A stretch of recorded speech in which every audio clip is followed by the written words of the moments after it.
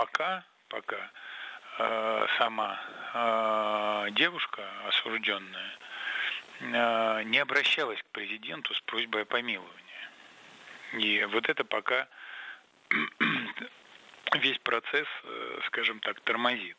Просьба о помиловании со стороны э, премьер-министра Натаньяху, она э, констатируется с точки зрения де-факто, но она не является основанием для действия с точки зрения де-юра.